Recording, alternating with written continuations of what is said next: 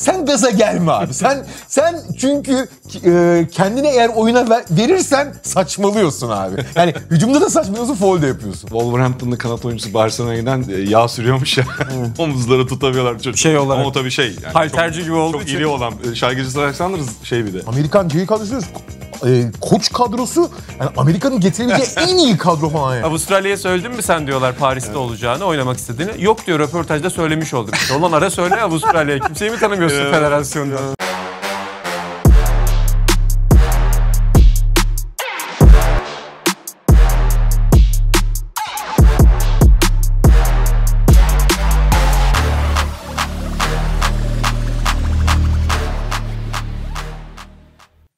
Sokrates'e hoş geldiniz. FIBA Dünya Kupası 2023'te ilk tur tamamlandı. Biz de Pasifik Çemberi'nin ikinci haftasında İnan Özdemir ve Kaan Kural'la beraber, ben Deniz Caner Erer, e, son anda plajdan Danimarka'dan e, gibi çağrılarak e, Aynen. bu programa katıldım. Ama Plaj program, gömleğimle geldim. programın ismine çok uyumlu. Yani pro- Dünya Kupası'ndaki bazı ülkelere de uyumlu. Değil mi? Biraz Okinawa'dan e, esintiler taşıdık. Bence uyumlu. Umarım olmuştur. Bilmiyorum sizi renklendirmişizdir diyorum. E, neler söylersiniz? Tabii e, sıkı bir ilk tur olduğunu söyleyebiliriz herhalde. AB grubu birleşiyor. I grubu oluyor. Oradan başlayalım. Tabii genel yorumlarınızı da alabiliriz. Kaan abi sen de başlayalım. Valla e, ya bunu daha önceki ilk programda da konuşmuştuk.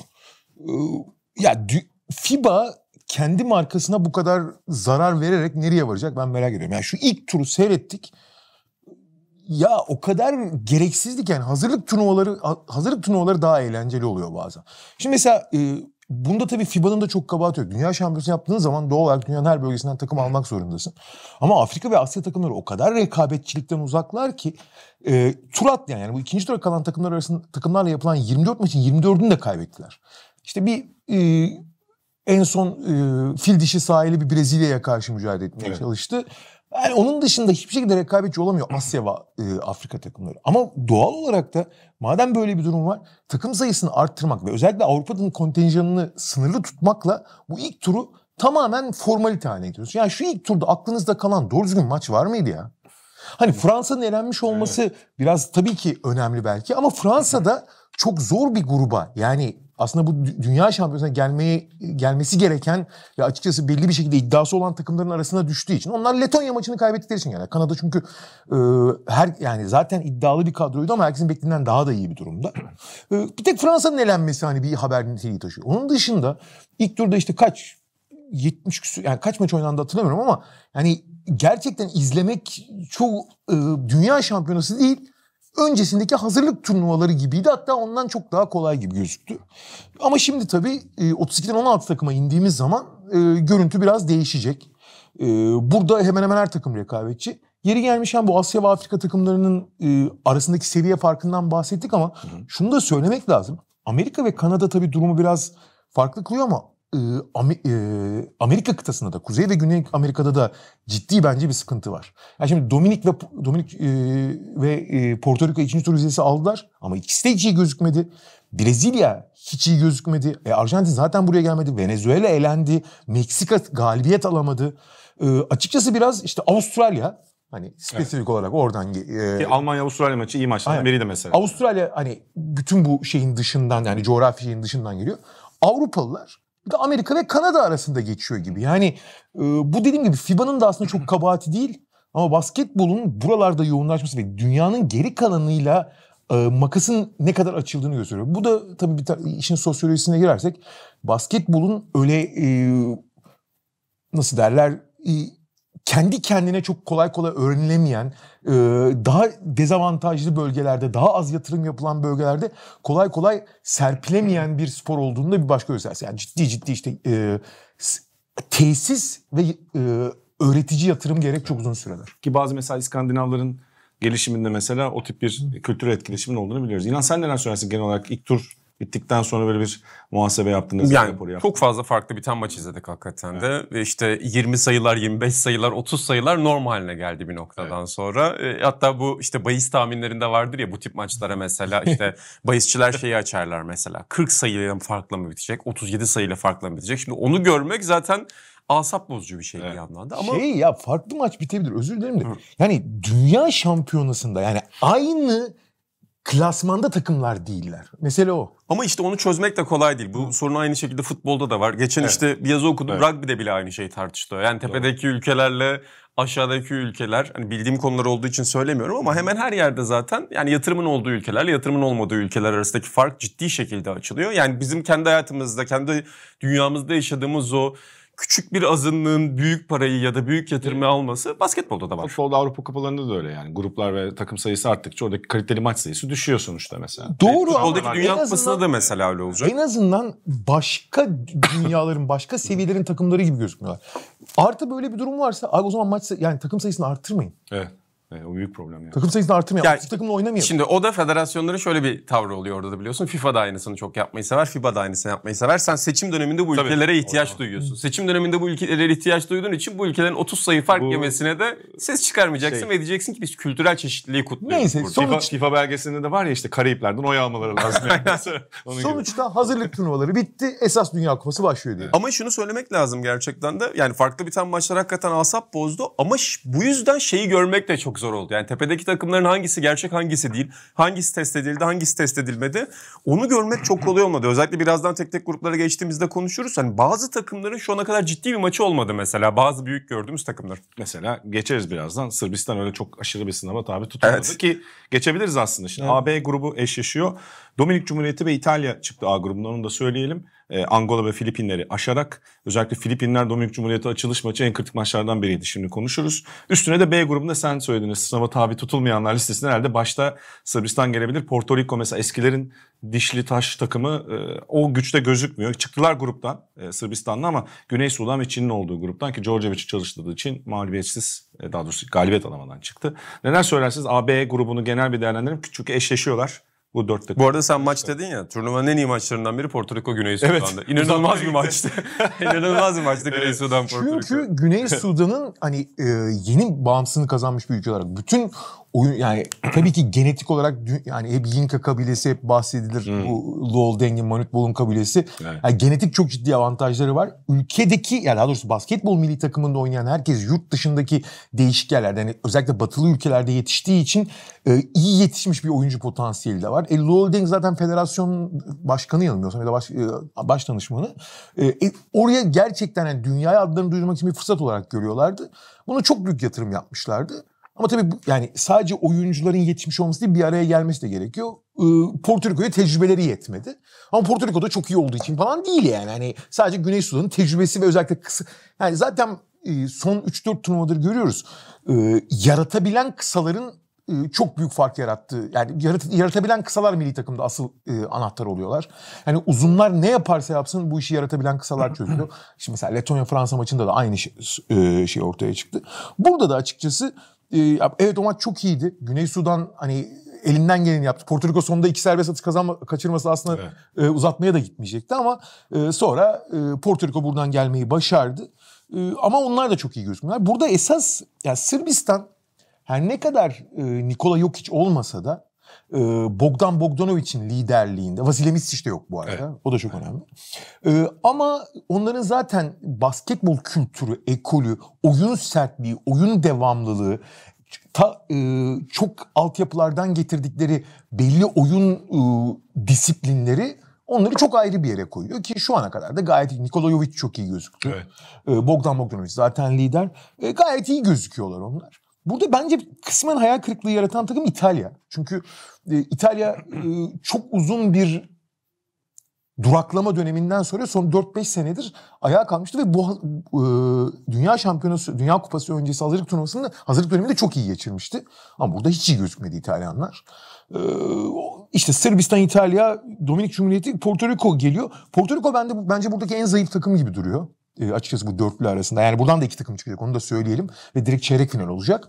E, Dominik Cumhuriyeti çok sallantıda ve hani başta Carl Anthony Towns e, özelinde sürekli ke- yani iyi bir şeyler yapıp aynı zamanda kendi kendine çok zarar veren bir. Evet. Biraz e, Sırbistan çok test edilmedi dedik ama bu grubun da ben Sırbistan'ı çok zorlayabileceğini düşünmüyorum. Evet artık Dünya Kupası her maç Dünya Kupası kalitesinde en azından olacak. Yani Dünya Kupası'ndan beklediğimiz kalitede. Ama Sırbistan'ı gene de çok bu, bu takımların e, sertliği, yani Sırbistan sertliğine, Sırbistan devamlılığına dayanabileceğini, dayanabileceğini düşünmüyorum ben. İnan sen neler söylersin? Bu arada şeyi de söyleyelim. Ee, ilk gruplardan e, galibiyetlerini getiriyorlar, puanlarını getiriyorlar. O yüzden de mesela burada e, Dominik Cumhuriyeti ve Sırbistan üçer galibiyetle başlıyorlar avantajlı. Averajlarını da getiriyorlar. Averajlarını da getiriyorlar. Galibiyetlerini de getiriyorlar. Evet. Yani orada Sırbistan gerçekten de açık favori. Ama şimdi son yıllardaki turnuvalara baktığınızda Sırbistan sürekli bir şekilde İtalya'dan çelme yediği için... Evet, son baskette de. Ee, yani burada da bir çelme yerlerse Dominik çok avantajlı geldi çünkü. Yani iyi ya da kötü basketboldan ayrı 3 galibiyet müthiş bir avantaj. Evet grupta işte Angola ve Filipinler olması, o İtalya maçını kazanmalarının etkisiyle 3'te 3 de geldiler. Şimdi burada İtalya Sırbistan'a bir çelme taktı. Bir yanda Dominik'in yanlışlıkla buradan da grup lideri olarak çıkma şansı doğuyor. Ama şimdi burada gerçekten de odaklanılması gereken noktalar. Yani Sırbistan'a dair neyi ciddiye alacağız, neyi ciddiye almayacağız. Bir kere hakikaten Nikola Jovic'in şut yüzdesi inanılmazdı. Ya almaz şut attı. Son maçta bir tek sadece bir tane serbest atış kaçırdı. Yani Bogdanovic'den daha şu anda sıcak başladı. Hani Bogdanovic'in liderliği zaten çok apayrı bir seviyede. Bu turnuvanın en değerli 5-6 oyuncusundan biri şu anda zaten. Hem karar verici olarak hem üretici olarak. Bir de yanında başka karar verici olduğunu da onu da tamamlayabiliyor. E, o yüzden Sırbistan'da Bogdanovic'i başladı ama esas Nikola Jovic şu anda çok çarpıcı görünüyor oyun itibariyle. Benim orada ilgimi çeken e, Dominik'te hakikaten Carl Anthony Towns'ın ruhunun takıma biraz sirayet etmesi oldu. Yani İtalya maçında bunu görmeye başladım. hayatımda böyle özveriyle oynarken görmedim ya. Siz belki hatırlarsınız ama. Ha, e, inanla biz onun sohbetini yapıyorduk. Carl Anthony Towns'da şöyle bir şey var. Bir kere çok özel bir yetenek olduğuna hiç şüphe yok. Aynı zamanda inanılmaz özverili. Sorun şu ki Evet. yani dünyadaki sporculardan herhangi bir sporda kendisini çok adamasını, çok özveriyle kendisini zorlamasını istersiniz. Fakat yani 1 milyon sporcuda 2-3 tane istina var. Anthony Towns onlardan biri. Abi yet- sen fazla özverili davranma. Sen gaza gelme abi. Sen sen çünkü e, kendine eğer oyuna ver- verirsen saçmalıyorsun abi. Yani hücumda da saçmalıyorsun, foul de yapıyorsun. Ya şey zaten böyle bir e, Latin Amerika roman karakteri gibi. Yani dünyayı dolaşıyor şu anda Dominik'le birlikte ve faal Evet. problemine ve işte duygusal bunalıma girmeye devam ediyor. Yani dünyanın neresinde basketbol oynarsa oynasın sadece Minnesota'ya özgü değil, Dominik'e özgü değil. Bu adam bunları yaşıyor bir şekilde. Ama özellikle Andres Feliz sayesinde doğurdu. Yani Çok onun ya. müthiş şut sokması sayesinde Dominik'i birkaç kere krizden çıkardı. Çünkü Carl Anthony Towns'ın tamamen peşine takıldıklarında mağlubiyet alabilecekleri çok açığa girmişler. İtalya maçında kritik her yerde Feliz vardı yani. Ya zaten Feliz kurtardı çünkü Carl Towns'ın biraz işte bu tip oyuncuların FIBA'da yaşadığı problem bu oluyor zaten. Yani sen NBA'den bir yıldız apolitiyle geldiğin için dışarıda topu alıyorsun. Zaten Carl Towns shooting guard gibi oynamayı da çok sevdiği için. Hani ben dışarıdan şu topu alayım el üstü üçlük atayım'a çok fazla kafayı takmıştı. Ve İtalya maçında gruptaki başka maçlarda bunu gördük. Bu basketbolun her zaman işlemediğini görüyoruz. Yani özellikle İtalya gibi uzunlarının çok sert olmadığı bir takıma karşı Carl Towns'ın sırtını dayayıp içeriye girebilmesi lazım. Ya da yüzü dönük bir şekilde dribbling yapabilmesi lazım. Fakat o oyunun akışı içerisinde iyi bir şeyler yapmaya çalışırken bu yönleri görmediği için Feliz'in şutları biraz onu kurtardı açıkçası. Hatta Delgado yaptı o işi yani. Türkiye'de de O- oynadı. onları şimdi arka arkaya şut attığı zaman şimdi içeri girmem dedi, gerektiği zaman seçmeyi hiç bilmediği için de bu sefer 3 kişinin içine girip ya top kaybediyor ya hücum foul yapıyor. Yani bir, bir oyuncu bu kadar yıl basketbol oynayıp bu kadar özel yeteneklere sahip hala bu kadar şuur kaybederek oynaması ben inan hakikaten inanamıyorum yani. Hani penetre etmesi gereken yerde hani sürekli şuta konsantre oluyor. 3 kişi varken önünde 3 kişinin arasına girmeye çalışıyor. Zaten maçın başında yani özellikle Dominik Cumhuriyeti İtalya maçında olay tamamen Carl Anthony Towns üzerindeyken 12-0 İtalya başladı.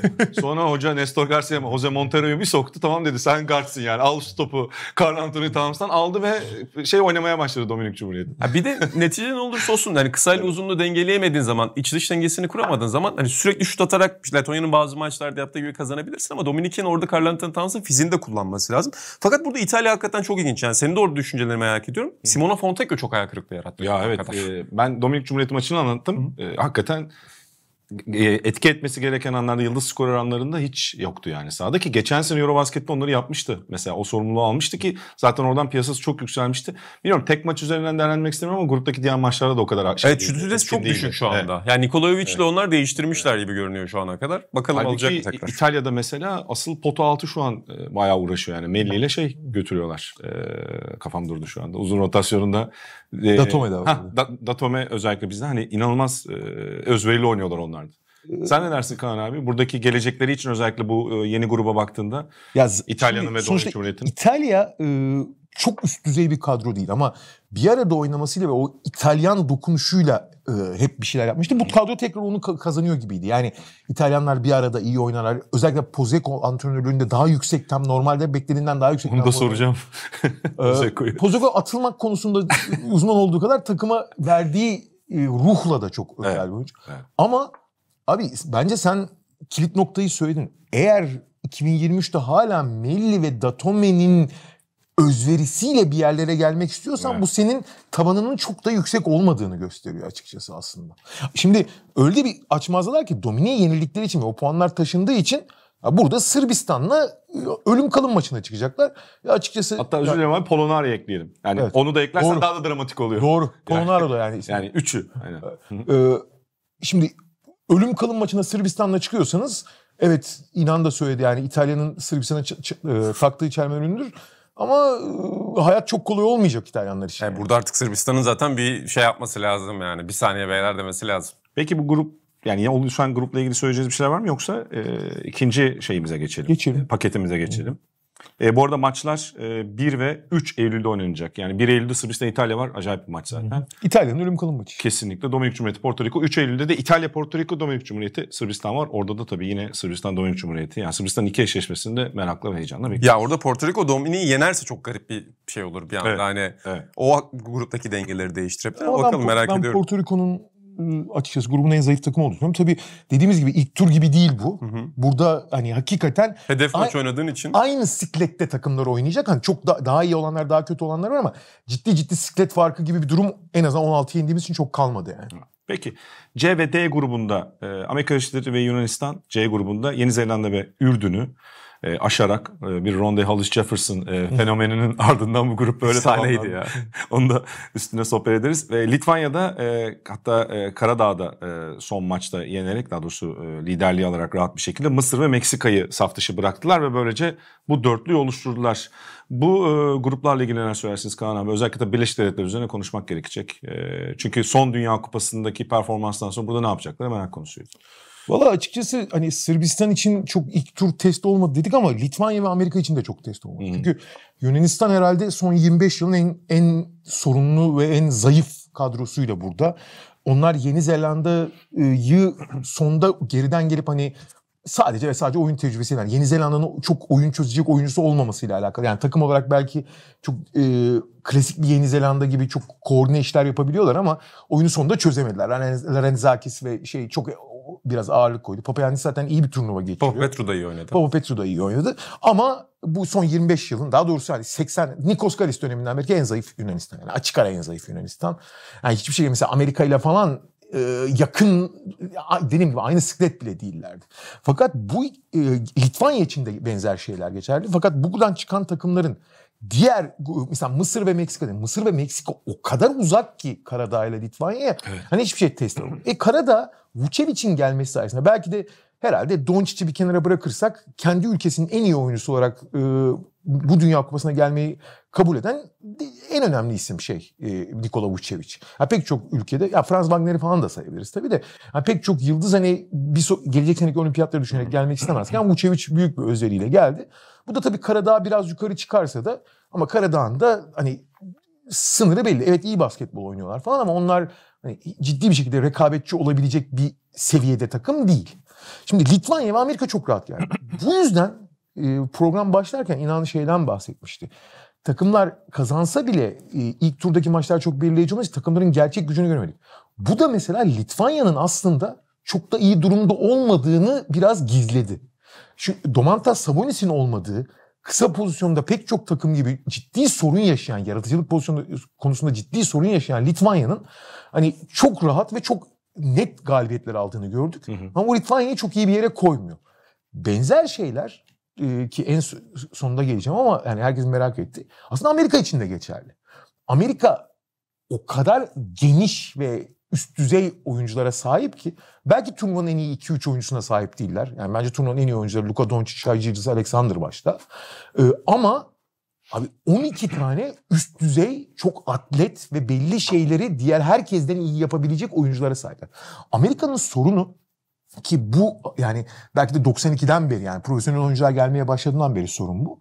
Bu oyuncuları bir arada bir takıma dönüştürebilmek. İnan sen ne dersin Birleşik Devletler üzerine? Çünkü bu grubun açık ara şu an hani ne olursa olsun favorisi oluşan yeni grubun. Bir de son maçta sana öyle bir pas atayım. Josh Hart ilk 5'e yerleşti. Ingram'ın yerine Kaan abi de bahsetti. Ki o yani zaten uluslararası basketbolun gerilimlerinden biri her zaman odur. Yani Hart zaten hayatı boyunca Brandon Ingram'ın şu anda koymaya çalıştıkları rolü oynadı. O yüzden Hart'ı sen burada o rolde oynattığın zaman bir bakıyorsun çok daha rahat bir şekilde oynayabiliyor. Ya da Michael Bridges Brooklyn Nets'e gitmeden önce Phoenix Suns'ta bir görev adamı içinde mükemmelleşmenin ne demek olduğunu bildi. O yüzden sen Hart oraya koyduğunda, Michael Bridges oraya koyduğunda, Jaren Jackson o görevi verdiğinde şunu biliyorsun. Ya bu oyuncular NBA'de de bu görevleri yaptılar. Burada da bu görevleri yapabilirler ki gerçekten çok güzel bir şekilde yapıyorlar. Ama sen Brandon Ingram'a abi sen top almayacaksın. Açık alana çıktığında biraz top kullanabilirsin ama top genelde işte Edwards'da olacak, Brunson'da olacak, ikinci beşte top Halliburton alacak. Yani sen tamamlayıcı parça olacaksın dediğinde şimdi o LeBron James'in yanında olduğu dönemden beri Ingram'ın yaşamadığı bir deneyim. O yüzden de tekrar kafasını reset edip oraya dönmesi çok zor. Dolayısıyla Steve Kerr'ün ve Eric Spoelstra'nın yani ki Eric Spoelstra'nın asistan koç olması gerçekten inanılmaz bir şey. Bir de Tyronn Tronlu da var. Tronlu da öyle yani. Eric... Yani bu arada özür dilerim Amerikan J kadrosu e, koç kadrosu yani Amerika'nın getirebileceği en iyi kadro falan yani. İnanılmaz bir yani. Kombinasyon. Eric Spoelstra'nın şurada asistan koç olması inanılmaz. O, o yüzden de orada yatan gerilim o. Yani maça başladıklarında Brunson, Edwards, Ingram, Bridges ve Jaren Jackson olarak başlıyorlar. İkinci beşe döndüklerinde işte Brunson'la Edwards'ın yerine Halliburton ve Austin Reeves'i koyuyorlar. Yanlarına takımı dönüştürebiliyorlar. Şimdi öyle olduğu zaman Bankero'yu 5 numarada kullandıkları bir format var. Evet. Şeyi görüyorsun yani Reeves ve Halliburton geldiğinde top dönüyor. Takım biraz daha iyi paylaşıyor. Açık alana çıktıklarında çok güzel yerleşiyorlar. Roller çok güzel bir şekilde dağılıyor. Ama ilk oyuna başladıkları 5'te Ingram, Edwards, Brunson yan yana olduğunda bir şöyle bir paslanma hali var takımda. Yani yarı sahada birbirlerine tutuk, bakıyorlar. Daha tutuk evet. O yüzden ben Steve Kerr'ün işte Spoelstra'nın ve Travon'un bu ekibin nasıl bir 5 kararını vereceğini merak ediyorum. Sadece maça başladıkları 5 değil. Şu ana kadar hiç kriz yaşamadı Amerikalılar. 2019'da görmüştük ki kriz yaşadığında ki o takım çok sınırlı evet. bir takımdı. Evet. Ne olursa olsun yarı sahaya sıkıştırdığında rakipler seni sıkıştırabilirse bir İspanya veya işte bir Slovenya. Gerçi Buradan sonra gittikleri şey de düzlem de onların çok iyi. Yani onlar Kur'an'ın çok şanslı tarafında kaldılar ama yarı sahaya sıkıştırılmadıkları sürece çok rahatlar. Fakat yarı sahaya sıkıştırıldıklarında Steve Kerr ve ekibi Edwards Brunson ikilisinden yanlarına Ingram'ı koyarak mı devam edecek? Yoksa onların içine mesela Edwards'ın yanına Halliburton ve Austin Reeves'i koyduğu formata mı dönecek? Almanya maçı buna dair çok güzel bir örnek. Yani hazırlık maçında krize girdiklerinde Austin Reeves ve Halliburton çok iyi oynadı. Sonra e, Anthony Edwards maçı inanılmaz bir şekilde bitirdi. Hatta orada Bobby Portis falan kullandı. Böyle garip bir beş yaptı. Dolayısıyla ben maça başlayan beşte yine Hart'ı görebilir. Hart'ı 4 numarada oynatıp Ingram'ı ikinci beşe koyabilir. O Ingram'ın da işine yarıyor. Hem top kullanma şansı da olur değil mi Ingram'ın daha rahat bir şekilde. Ama ben esas maçları nasıl bitireceğini merak ediyorum. Yani ben bu basketbolda Austin Reeves'in maç bitiren beşte olması gerektiğini düşünüyorum. Çünkü mükemmel bir oyuncu bu takım için. Yani FIBA evet. basketbolu için özellikle. Onun için yaratılmış. Hani hem bir yanındaki topu yarattığı zaman bitiren sabit şutör olarak oynayabiliyor. Çünkü Lakers'ta bu rolü yıllarca aldı zaten. Hayatı bu rolle gitti. Hem de geç geçen sene playofflarda gösterdiği gibi topu aldıktan sonra rakipten faal alabiliyor, boyalı alana girebiliyor, orta mesafeye girebiliyor. Orada dışarı çıkarıp takım arkadaşlarını görebiliyor. Bütün bunlar ABD'ye Austin Reeves'in kattığı derinliği gösteriyor. O yüzden ben Austin Reeves'in ve Josh Hart'ın maç kapatan beşlerde olabileceğini düşünüyorum. Halliburton konusunda çok emin değilim hala. Halliburton Brunson arasında bir tercih yapabilir. Hatta Bridges'ı da oraya koyayım. 5 numarada şunu söyleyeyim ben Walker Kessler'ın oynayabileceğini düşünüyordum ama hazırlık döneminden itibaren Walker Kessler'ı oynatmadı orada. Jaren Jackson Jr. 5 numarada oynatıyor. Yedek 5 numara olarak da Paolo Banchero'yu kullanıyor ki Banchero zayıf rakiplere karşı oynasa da şu ana kadar o rolde iyi bir iş yaptı. Yani iyi devrildi. Zaten Yeni Zelanda maçını çözen oyuncu oldu. Evet, evet. İyi devriliyor ve savunmada çok iştahlı gözüküyor. Çok fizikli kalıyor burada zaten. Portis'i rotasyon dışına çıkaracak gibi zaten görünüyor şu anda. Walker Kessler'ı da oynatmayacak gibi görünüyor. Orada 8-9 oyuncusunu bulmuş gibi görünüyor Steve Kerr. Dediğim gibi temel soru Maç sonunda Reeves ve Hart'ı oynatacak mı? Bence oynatmalı. Sen ne diyorsun bu konuda? Ee, Josh Hart'ın hücumdan herhangi bir şey almaması ama aynı zamanda belki de e, pozisyonu için değil. Bence turnuvadaki en iyi reboundçulardan biri. Şimdi Amerika'nın 9 rebound ortalamayla oynuyor. Amerika'nın bir eksiği varsa uzun. Çünkü e, inan özetledi Walker Kessler'ı artık düşünmediğini anladık. Özel çok özel rakiplere karşı özel durumlar. Bobby Portis'in de yetersiz olduğu görüldü. Şimdi Paolo Banchero harika bir turnuva geçiriyor ama Paolo Banchero yani 5 numarayı yani 5 numara 7 olarak ya da 5 numara alternatifi olarak ideal rolünde değil asla. İyi oynuyor olmasına rağmen. Jaren Jackson Jr. tek kelimeyle olağanüstü. Belki de yani Amerika'nın bence en iyi oyuncusu bu arada. Yani profil olarak şu anda. Brandon Ingram'ın falan bence üstüne çıktı geçen sene. Ama sorun şu ki Jaren Jackson Jr Abi ilk maçta gördük 15 dakikada 5 foul alabiliyor yani. Çünkü hiç kendine kontrol Farklı bir edemiyor. Carl Anthony Towns o da. Ee, o, o da hiç kendini kontrol edemiyor yani savunmada. Ha caydırıcılığı falan olağanüstü. Boyalan bitiriciliği de çok üst düzeye çıktı falan ama hani onun alternatifi olmak zorunda. Banker öyle idare edersin. Burada asıl bence büyük karar en önemli karar verici kim olacak? Bu oyuncu Haliburton olduğu zaman bence her şey çok daha yanıyor. Haliburton çok iyi bir turnuva geçirdiğinden değil. Beni, ben o yüzden biraz e, Yunanistan maçında ya Ürdün'ü saymayalım hadi.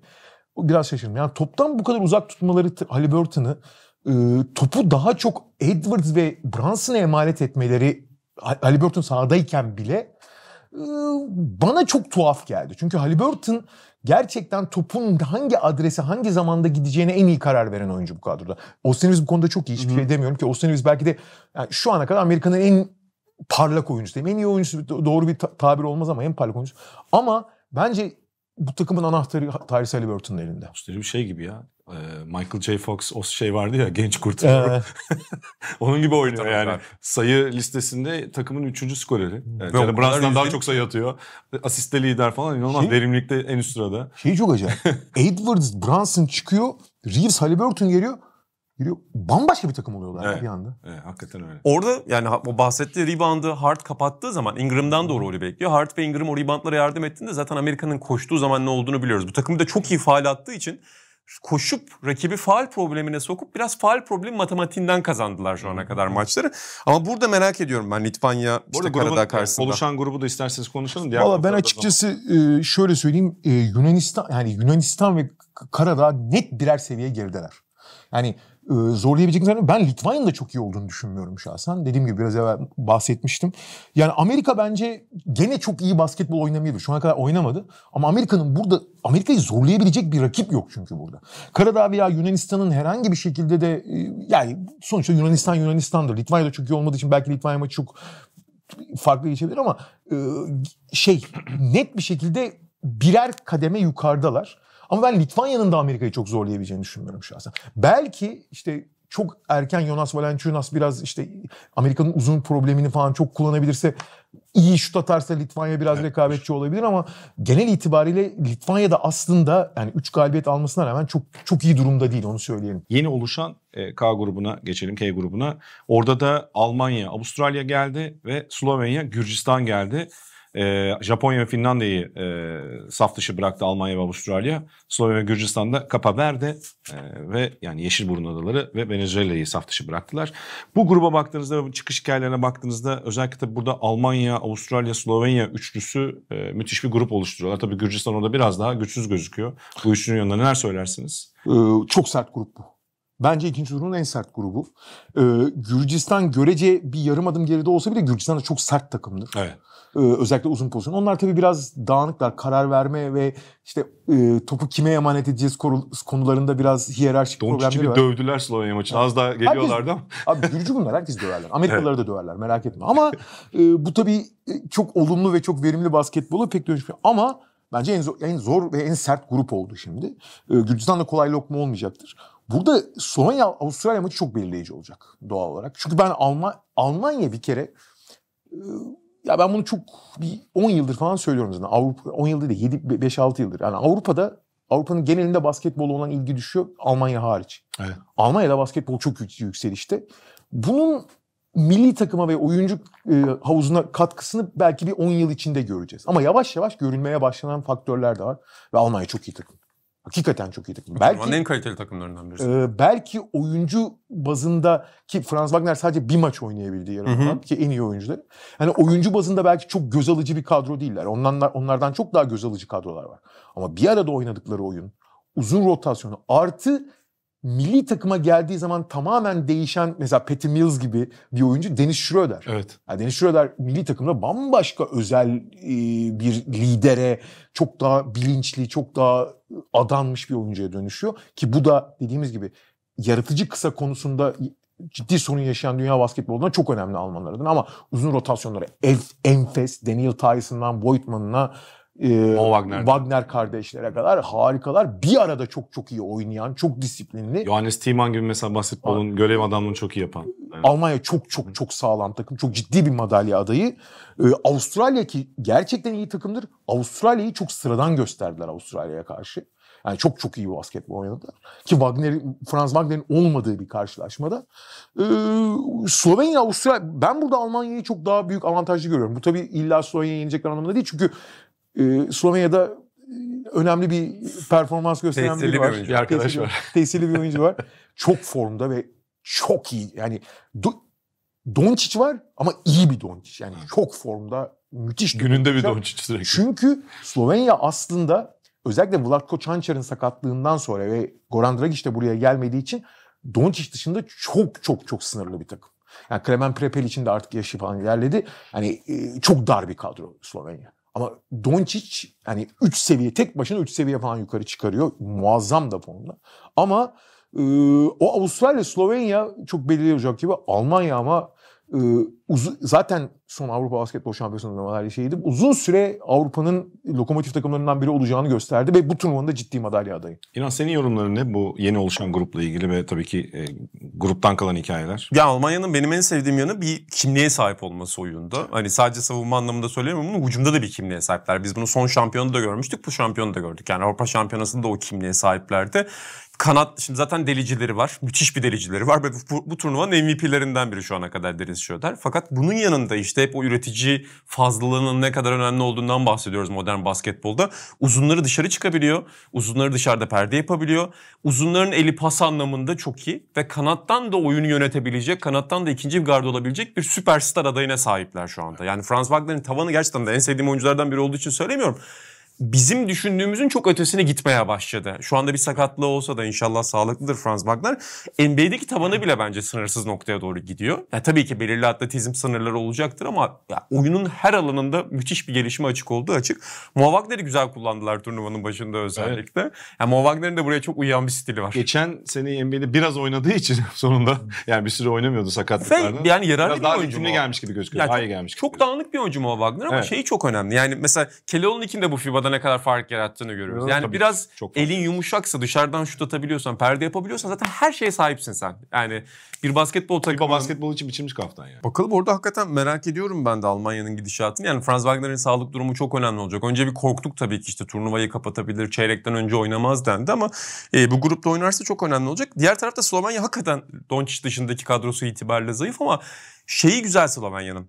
Yani Doncic'in de bu turnuvalar çok rahat oluyor. Yani 10 maçlık, 12 maçlık serüvenlerde Doncic basketbolunu oynayabiliyorsun. Dünyanın bu anlamdaki en iyi oyuncusu olduğu için. Bu basketbol oynayacak en iyi oyuncusu olduğu için. İşte bu 82 artı 16'da problem yaratmaya başladı. Yani NBA'de bu basketbolu kaldırmak çok zor. Sadece etrafına işte istasyonda bekleyen oyuncuları koymak ve tek bir oyuncunun bütün her şeyi çözmesi uzun vadede playoff'ta seni duvara çarptırıyor ama maç içi de şey yapıyor. Aktif dinlenme de yapıyor. bu turnuvada götürebilir seni bir yerlere kadar. Fakat onun dışında yani tekniği taktiği boş verelim. Yani bütün rekorları alt üst etmek üzere uluslararası basketbolda. Yani Slovenya Oscar bir de- Schmidt'ten beri bütün rekorları alt üst Yani etmek üzere. Doncic'in ne kadar etkisini et- e, çevresine etki eden bir oyuncu olduğunu hani işte Nash için o istatistikler yapılırdı işte yanındaki oyuncuların şut yüzdesi şöyle yükseliyor diye. E normalde hani sen abi şey diyorsun ya işte NBA'den geldi buraya basketbolu başka bir seviye geliyor. Burada da Avrupa'daki e, daha düşük seviyeden gelen oyuncu burada Slovenya milli takımında sanki Euroleague oyuncusu gibi de oluyor. İşte Bine Prepelic mesela. Ya zannedersin şey dört Çançar gibi oynuyor. Çünkü yanında Doncic o kadar iyi besliyor ki onu. O kadar yükseltiyor ki mıknatıs gibi zaten. Herkesi çekiyor. Diğerleri rahat rahat üretiyorlar yani yine. Bir de savunmaların yani o kadar fazla yani birden fazla oyuncu Doncic'le uğraşıyor ve bu hiçbir işe Evet. yaramıyor. Aynen. Hayatı kolaylaştırıyor diğerleri. Çebaşek bile etki etti mesela şey maçında. Hani normalde hiç is- ismini belki de bilmeyeceğimiz bir oyuncu. Avustralya Slovenya çok ilginç maç olacak ama çünkü Avustralya'yı soracaktım ben de size. Bakalım bir triple double çıkacak mı oradan? Hem Gide hem Doncic kovalıyorlar şu anda triple double'ı. İlk triple double yapmak için Dünya Kupası'nda. İkisi de çok çaba içinde bakalım yapacaklar mı? 2 ile kaçırdı şey maçında. Ee. Avustralya e, uzun süredir geldiği e, en büyük uzun problemli kadroyla geliyor buraya.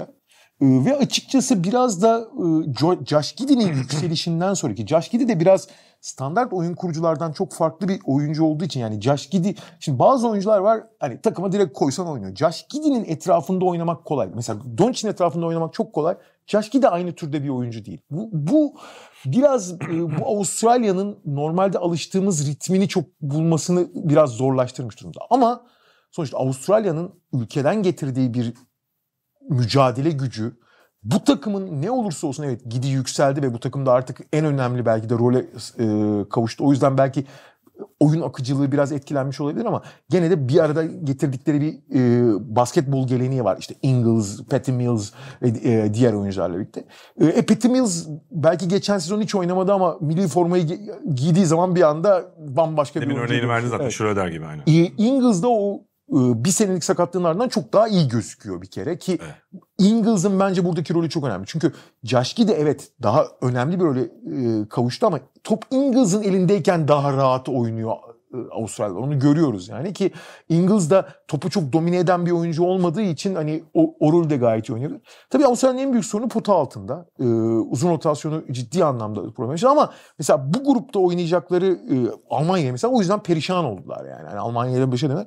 Ama Slovenya'ya karşı e, pota altında öyle bir problem yani eksik olmaları çok büyük problem yaratmayacaktır.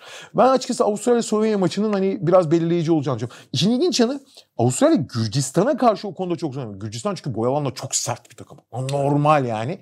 Avustralya'nın o zaafı e, çok başına bela açabilir Gürcistan maçında ama orada da kısalarda muhtemelen farkı yaratacaklardır. Eğer buradan söyleyecekleriniz okeyse son e, paketimize geçelim. Yani G ve H gruplarından oluşan yeni grubumuz. Orada da İspanya ve Brezilya çıktı. Fil dişi ve İran'ı bertaraf ederek. Kanada ve Letonya'da Fransa ve Lübnan'da. Yani bu zaten en önemli olayı ilk turun. Sen de söyledin Kaan abi. Ee, özellikle Kanada-Letonya maçı çok güzel oldu. Üç çeyrek son çeyrek e, Kanada domine etti. Orada Letonya az daha bir sürpriz daha yapacaktı yani Fransa'yı yenmenin üzerinden.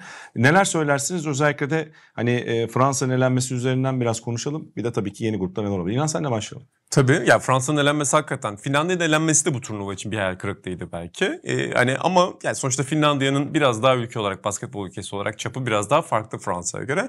Ya Fransa'nın özellikle Kanada maçının ikinci yarısından itibaren ve Letonya maçının son bölümünde Evan Fournier dışında bir opsiyon yaratamaması en büyük sıkıntısı Çöktüler oldu. Evet yani. çünkü kadro derinliği zayıf bir kadro bu. Ve yani Evan Kısalar açısından özellikle. ya Evan Fournier mesela Letonya maçının da büyük bölümünü çok iyi oynadı ama mesela Letonya maçının 3. çeyreğinden itibaren Letonya bir alan savunmasına bak sen bana döndü.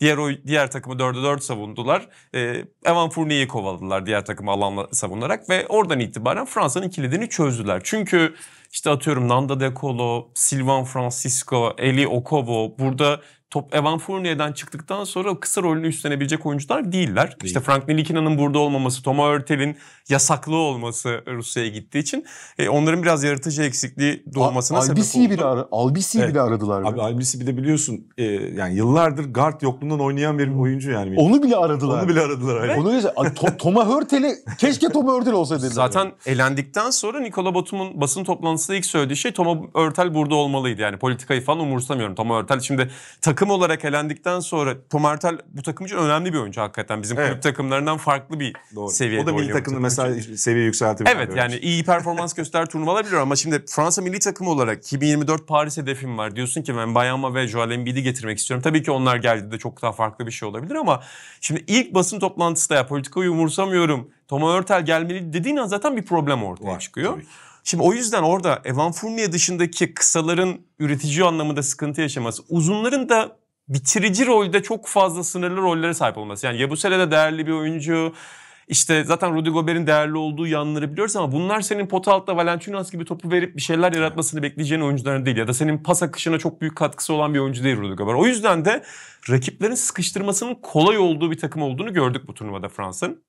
Ve de klasik bir Fransızlık örneğidir bu. Bir turnuva çok iyi oynarlar, bir turnuva çok kötü oynarlar. Her şeyi sonuna kadar yaşarlar. Hiçbir şekilde vasat değillerdir. Yani ya çok iyi olurlar ya çok kötü olurlar.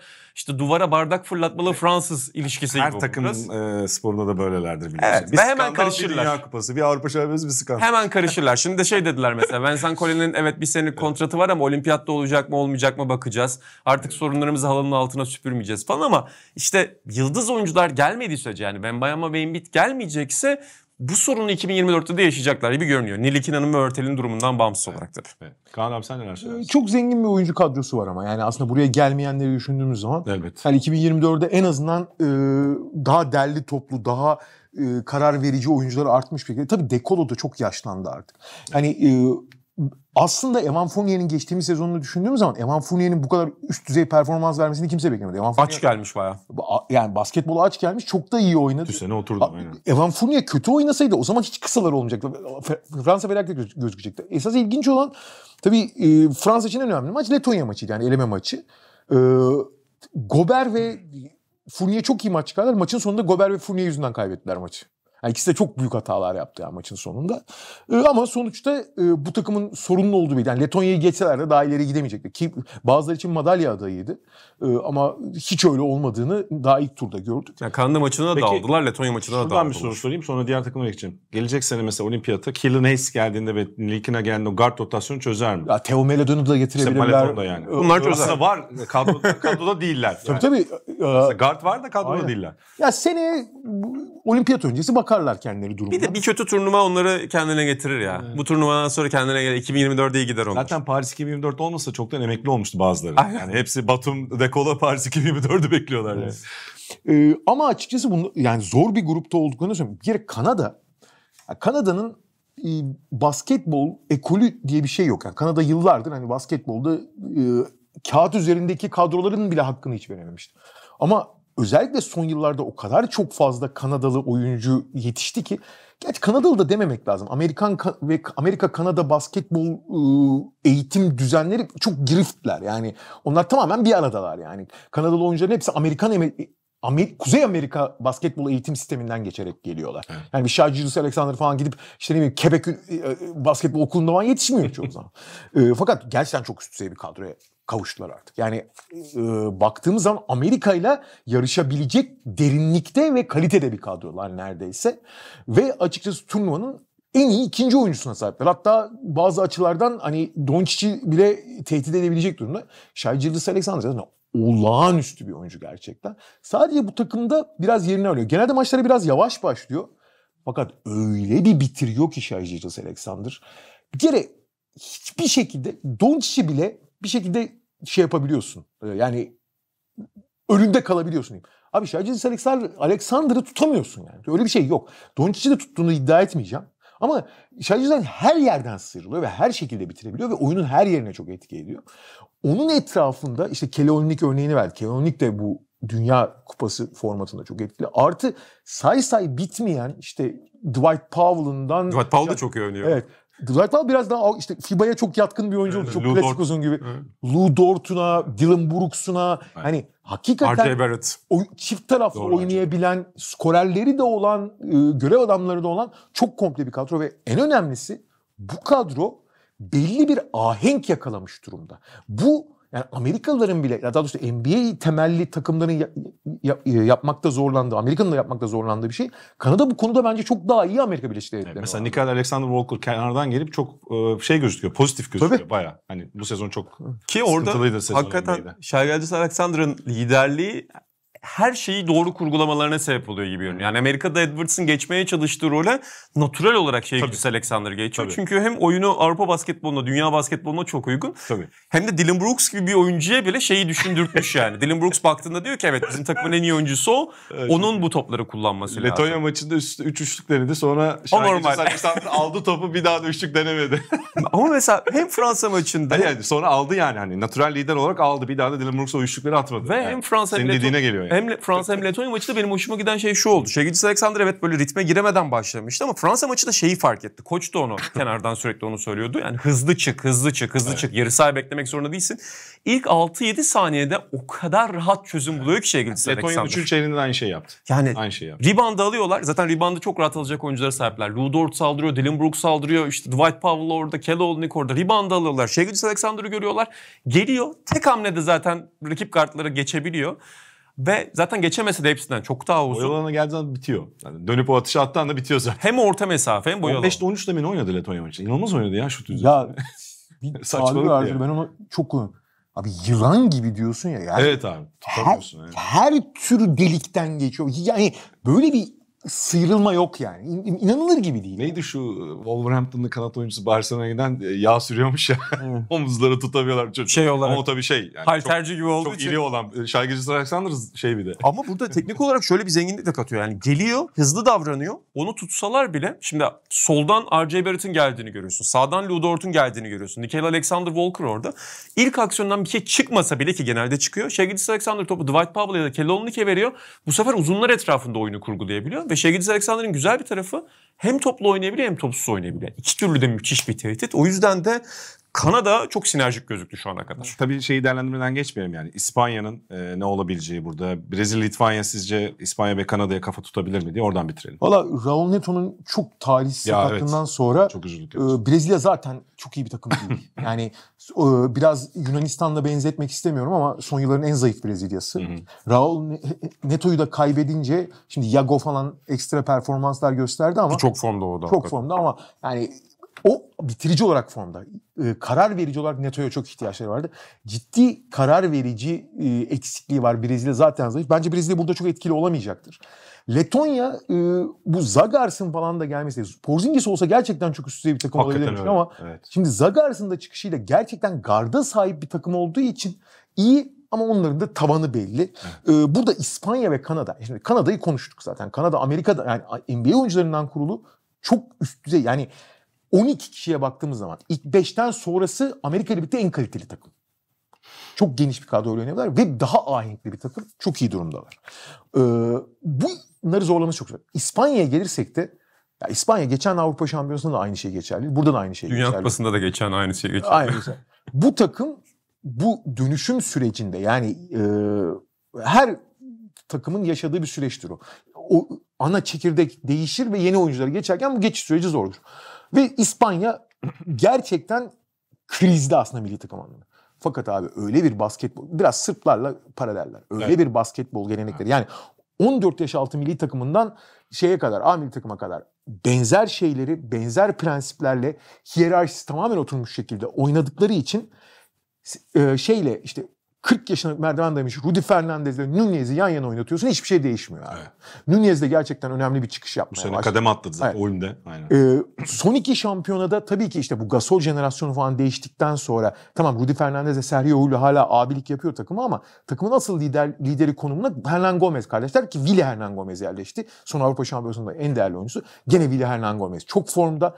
Fakat şimdi herhangi bir oyuncunun öne çıkması ve takımdaki hiyerarşideki yükselmesi hiçbir şey değiştirmiyor abi. Anında adapte olabiliyorlar. Yani yıllarca Yul ve lid- e, lider olan Yul ve Fernandez şimdi tamamlayıcı role tık diye geçtiler. İşte Nunez yükseliyor, rolü değişiyor, tak tak tak herkes oynuyor. Yani bu takım dediğim gibi 20 yıldır bir arada oynuyormuş gibi hala. Evet çok eski İspanyollar kadar güçlü değiller. Sorunları var, kadro kalitesi bu değişimden dolayı Belli pozisyonlarda sorun. S- sorun yaşıyor. Hı. E, doğal olarak Gül ve Hernandez çok yaşlandı artık falan. Ama e, hala taş gibi basketbol oynuyorlar ayrı konu. E, gene madalya adaylarından biri. E, ben Kanada İspanya maçını çok merak ediyorum. Yani İspanya'nın Evet. o geleneğiyle Kanada'nın bu ahenk yakalamış atletizm NBA basketbolu ne olacak acaba? Ya İspanya özellikle koşturmazsa onları çok güzel bir eşleşme olabilir. Çünkü İspanya Kanada'yı nasıl durdurabileceğini çok iyi biliyor. Ee, onlar koç ekibi de çok iyi biliyor Evet. zaten. Tabii. Ee, o yüzden de hani Kanada'yı biraz koşturmazlarsa tamamen bir yarı saha yarı saha maçına dönüştürebilirlerse orada ilginç bir şey çıkabilir. Ben de İspanya'yı hayranlıkla izledim grup aşamasında. Yani her şey olabilir bundan sonra ama Santiago Aldama da geldi. Yani geçen Evet. şampiyonadan farklı olarak. Aa, Zaten evet. Pro basketten. Doğru onu Onu da ekleyelim abi. Aldıma çok, çok iyi durumda. Zaten jenerasyon değişiminin önemli figürlerinden biri o da. Ama ya İspanyollardaki o ahenge ve değişime şuradan da saygı duyuyorum ben. Ricky Rubio'ya emanetti aslında bu takım son turnuvalarda. Yani Ricky Rubio ve Hernan Gomez'ler bu takımın ana liderleriydi. Ricky Rubio gelmedi. Onun da farklı problemleri var. Mental problemleri de var. Aslında Juan Nunez son anda bu takımın e, gardı oldu. Ricky Rubio'nun yokluğunda bu takımın gardı veya yedek gardı oldu. Nereden bakarsanız bakın. Bir anda bu turnuvadaki en büyük parlayan yıldızlardan biri şu anda. Ya inanılmaz bir şey. Bir kere şutuna inanılmaz bir özgüven duymaya başlamış ki işte prospekt olarak da zaten NBA çevrelerinde de yıllarca onu takip ettiler. İnanılmaz bir topa baskısı var. Hücumda boyalı, boyalı alana girdikten sonra hem uzunları hem kısaları çok iyi görebiliyor. Ama benim İspanya'da her zaman en çok etkileyen şey hem savunmada hem hücumda çok farklı kimlikleri aynı maça sığdırabiliyorlar. Avrupa şampiyon olurken de bunu görmüştük. Yani tak diye alan savunmasına dönüyorlar. Sonra baskılı bir işte tam sağ pres Bir an yapıyorlar. yapabiliyorlar. Sonra adam adamaya dönüyorlar. Bak sen bana yani oyuncu grubu bunların hepsini kafada tutabilecek ve uygulayabilecek bir kapasiteye sahip. Burada bile. Villa Hernan Gomez ve Juancho'ya topu veriyorsun. Orta mesafeden veya dışarıdan şut atıyorlar. Ya da post up oynuyorlar. Sonra Garubo'yu oyuna sokuyorsun. Juan Nunez ile Rudy Fernandez Garuba ile Aliyup oynuyorlar bu sefer de. Yani o kadar farkındalığı yüksek bir oyuncu grubu ki sahada şu an kim var? İşte Diaz ve Nunez mi var? Fernandez mi var? Garuba mı var? Hernan Gomez mi var? Biz ona göre hemen takımı şekillendirelim. Ya Santi Aldama mı var? Ona göre şekillendirilimi inanılmaz iyi uyguluyorlar. O yüzden ben de heyecanla bekliyorum bu grup. Ya Nunez'in gelişimi açısından da e, aslında bizdeki genç kartların gelişimi açısından güzel bir örnek gidişi. Yani Real Madrid'de çok savruk gözüküyordu mesela. Geçenlerde bu Euroleague'de ara ara süre alıyordu.